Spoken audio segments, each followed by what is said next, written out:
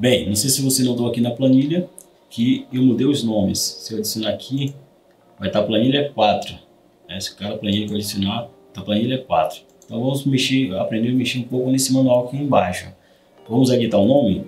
Eu gosto de colocar aqui sempre por ordem. Quero saber o custo do produto, a compra e custo dos produtos aqui embaixo, tem a noção. Se quando você for abrir essa pasta aqui, você tem noção. Caso você queira também, você pode colocar separadamente.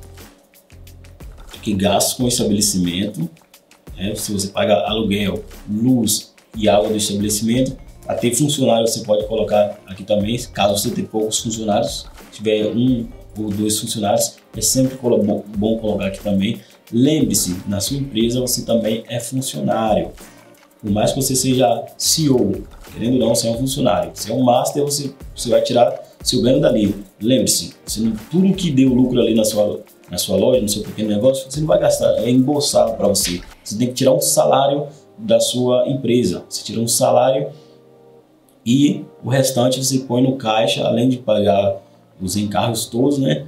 Pagar imposto, pagar é, estabelecimento, pagar fornecedores, aqui você vai ter que tirar o seu salário. Claro que seu salário sempre vai ser o maior, mas você vai ser, lembre-se, você é um funcionário, você tem uma empresa, mas querendo ou não, você é um funcionário dela. Então vamos aqui para mudar o nome, como eu mudo? Só clicar aqui sobre, sobre o título aqui, vai estar planilha 1, planilha 2, já troquei aqui para adiantar. Então coloco aqui o botão é, esquerdo, direito, perdão, o botão direito, você vai aqui em renomear ou até se excluir, caso você queira excluir alguma planilha dentro aqui da pasta. Isso aqui é uma pasta e dentro da pasta temos as planilhas. Aqui podemos adicionar N planilhas. Então, só que renomear, aqui ele vai, tá que ele vai selecionar todo o nome, você dá um S, um S não, perdão, você apaga, né, um backlight, você apaga, ou senão começa a escrever que vai sumir o nome planilha. Aí você escreve, você pode até clicar fora da planilha, que ele já salva automaticamente. Então já colocamos aqui os gastos com o estabelecimento. Já, já editamos aqui os produtos. Só mudar aqui. Planilha subir um pouco aqui. Gastos com o estabelecimento. Compras, com, perdão, compras e custos de produtos. Aqui já está tudo editado. Você pode colocar o nome dos seus produtos. Quantos produtos você tiver, vai colocando os nomes aqui. do lado é os nomes. Está aqui produto 1, produto 2. Pode colocar os nomes. E aqui os preços. Sempre que você for comprar o produto, põe menos, põe reais, cifrão, né? E coloca o valor.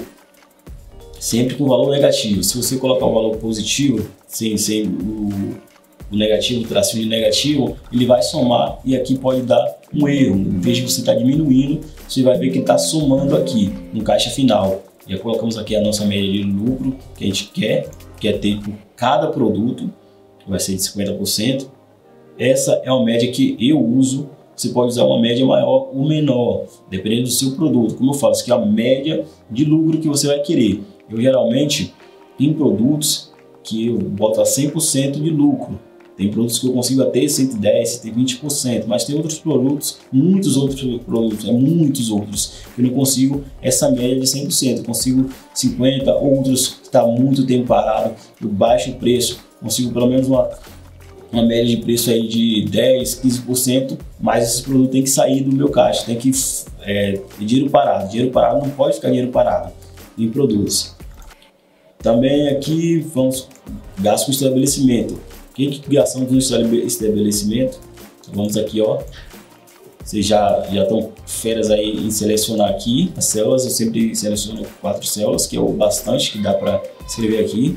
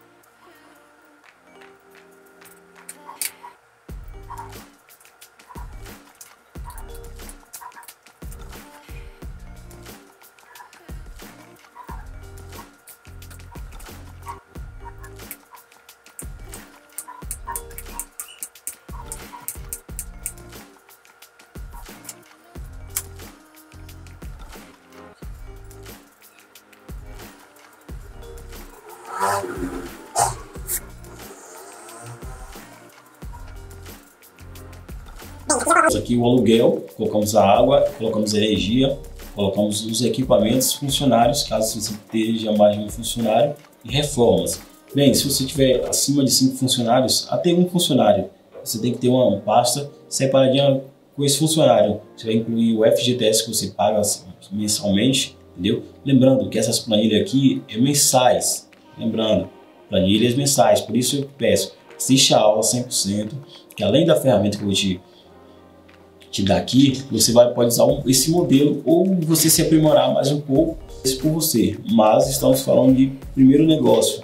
Nosso primeiro negócio a gente vai logo é, por funcionário, dependendo do quanto você tenha para você investir.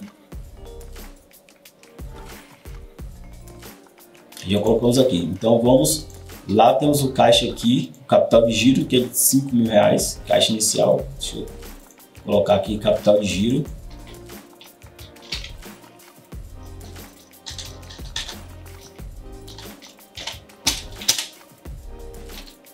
capital de giro.